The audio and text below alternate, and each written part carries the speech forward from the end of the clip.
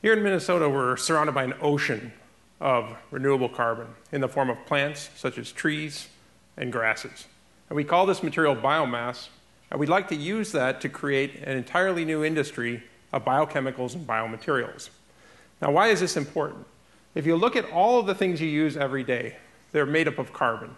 All these different products that you can see are made up of carbon, mostly derived from fossil fuels such as natural gas and petroleum. And so the question becomes in 100 or 200 years, we're still going to need these types of materials in everyday use for food, for medicine, for agriculture, for transportation.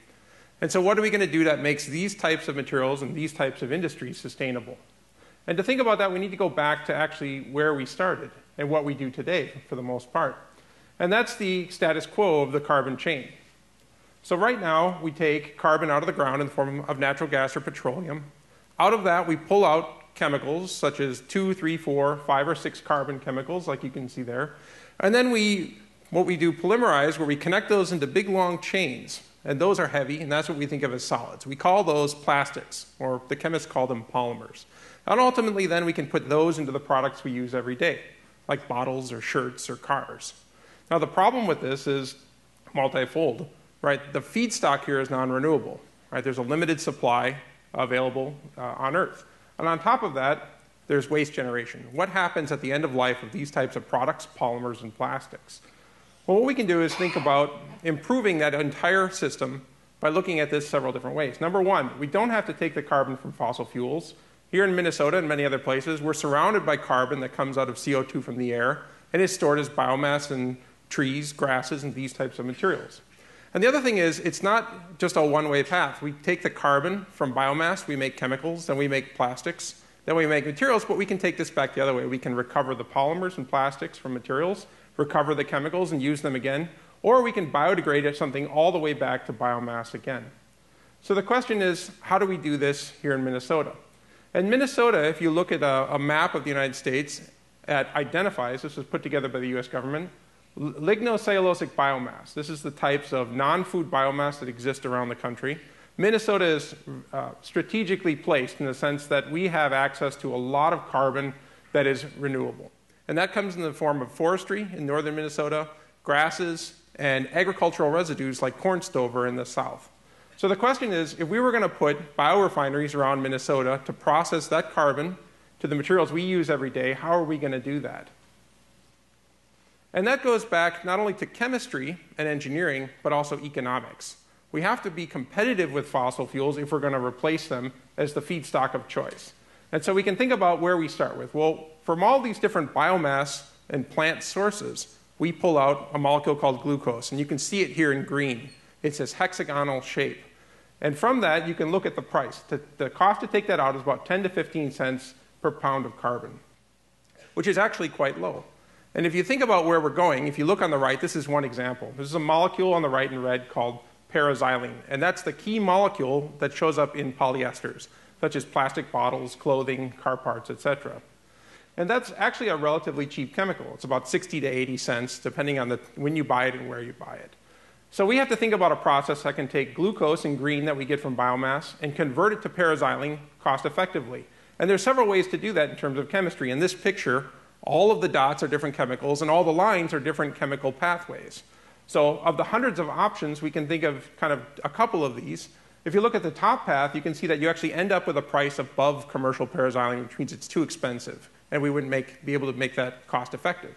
Whereas the other processes actually end up below, and we can think of those as cost effective technologies. So, what are the technologies that a, actually make this economically viable?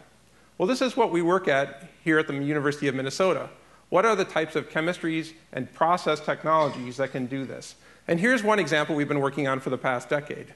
On the left, again, we start from glucose, which is what we can get from grasses and trees. And then we can convert that six atom ring, that hexagon, to a five uh, atom ring, which we call furan, and then convert that even further by taking off the oxygens.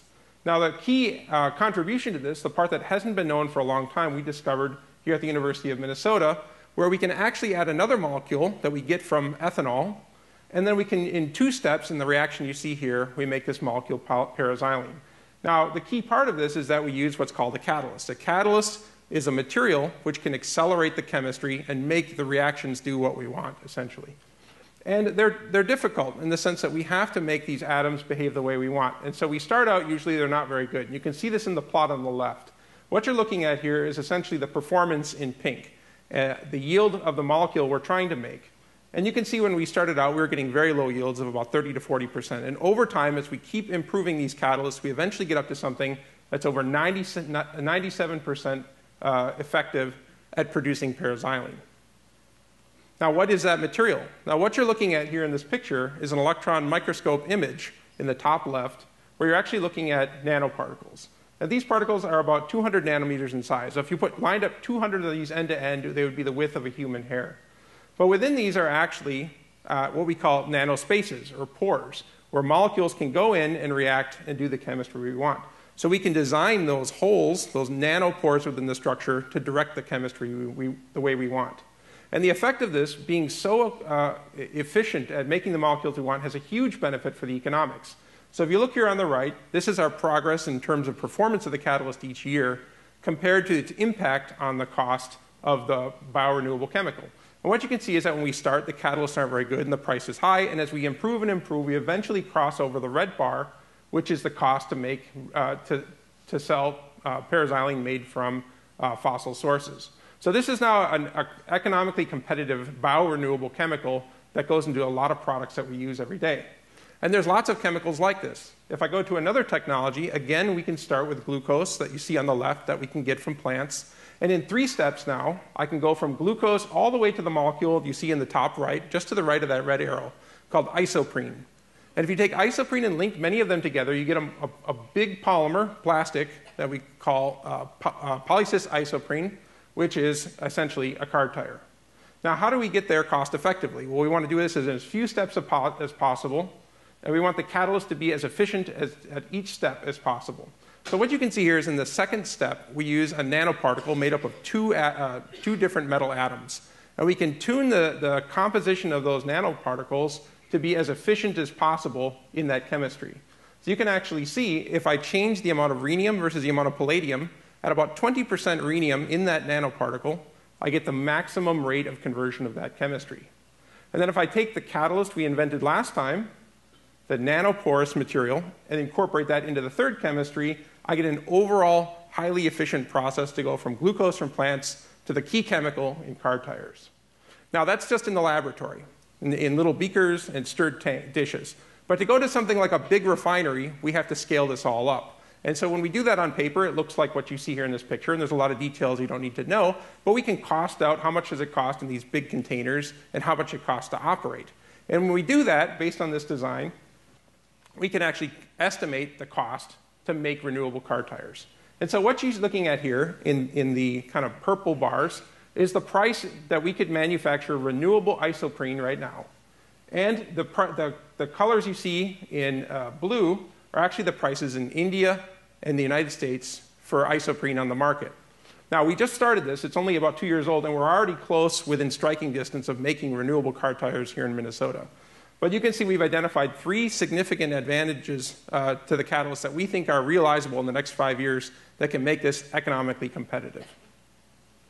Now, this is a very uh, uh, unique way to go about this. We're going to make the exact same molecules that we get from petroleum, and we're going to substitute those into the products you already use. So we call these drop-in replacements. And there's uh, all the molecules that are made from petroleum we can try to make from biomass, which is a good strategy because then we don't have to redesign all the products you use. The other approach, though, is that biomass has a different structure, which means we could make new molecules which have new functionality and actually behave better in different applications. And my third story, I'm going to talk about the molecules on the bottom. That has to do with laundry detergents, which we know from the previous talk, uh, laundry detergents are very important because of the number of chemicals we use. And so what we could do is make the molecule you see in the bottom right. That's called linear alkyl benzene sulfonate. That's the key ingredient you use when you wash your clothes with detergent. And we're going to propose we use the molecule on the bottom left, which we can make from biomass. Now, if you think about a formulated product that you buy, and you read off the list of chemicals in that, there's a lot of things in there, but it has to have the active ingredient, which in this case, in blue there, is linear alkyl benzene sulfonate, which we get from petroleum.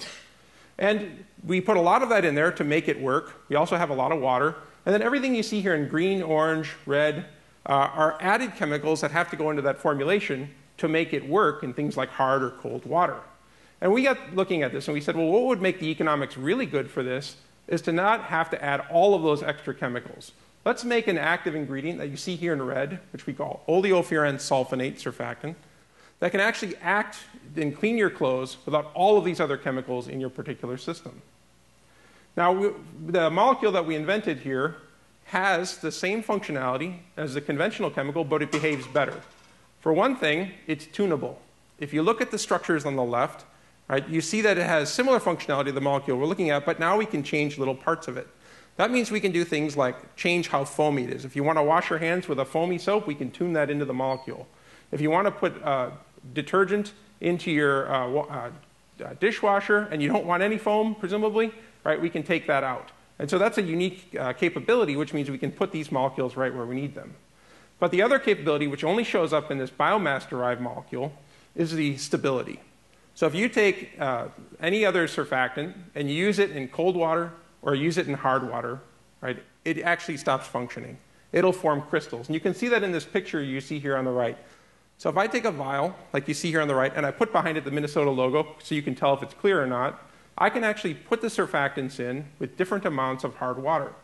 So you see, the LAS is the surfactant, the active ingredient in most laundry detergents. And by the time you get to 230 parts per million, which is where common hard water is, it actually starts forming crystals and stops functioning. But the OFS, the biorenewable surfactant, is crystal clear even up to 10,000 ppm, which is like seawater, which means we can use these molecules in all sorts of places without having to add all of these other chemicals. Now, the ability of st the stability combined with the ability to tune these molecules means we can use them all sorts of places. And here at the University of Minnesota, we've been thinking of all the different application spaces. And we patent the technology so that we have the ability to translate it out into the marketplace. And so, uh, if you think about these molecules, we tune them. Then, they, when you put them in water, they form these spherical structures. Those structures can then be tuned to give all sorts of different applications. So, you can use these in paints, you can use them in detergents, of course, but other places that you wouldn't think of too, such as foods or agrochemicals, where you're going to put this in and spray pesticides or herbicides on plants. Now, this technology is being translated to the marketplace by a startup company out of the University of Minnesota, which is Sironix Renewables. And that actually is led by a PhD student here from the University of Minnesota, uh, Christoph Krumm, and their flagship product is actually one of the molecules I've just shown you on the previous slide. Now, what's exciting is in the next two decades, we have the ability to completely remake the chemical industry here in the state of Minnesota. Like I said, we're uniquely placed in terms of feedstock, but we also have right, the background agricultural setting and the people and the infrastructure to move this carbon around and manufacture all of these products. Um, and now we know what's been a problem for a long time is that people think these materials can't compete economically with petroleum. And actually, it's the reverse. Some of these technologies, when they get implemented, such as technologies like renewable lactic acid, already compete and outperform fossil derived chemicals. now, on top of that, we can make new chemicals, right? The chemicals we make right now don't have to be the only ones we use forever. With biomass, it has new functionality, and we can outperform everything else. And like I said right at the beginning, Minnesota is a unique place for this. We have the feedstock, right? We have the agricultural background, and the University of Minnesota has a lot of expertise in chemistry, engineering, economics, and technology translation. So thank you very much.